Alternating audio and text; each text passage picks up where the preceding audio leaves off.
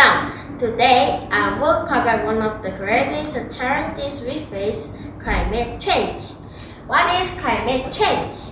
Climate change refers to long-term shift in temperatures and weather patterns. Since the 1800s, human activities have been the main driver of climate change, primarily due to burning fossil fuels like coal, oil, and gas. Then, what is the impact of climate change? More frequent and intense storms, heat waves, rising sea levels, warming oceans can directly harm animals and the places they live and destroy our ancestral.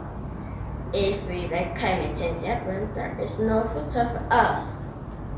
What should we do to respond to climate change?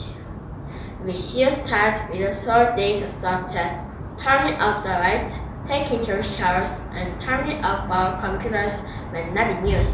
In a nutshell, we should do our best to save our Earth. Let's act right now. Thank you for listening.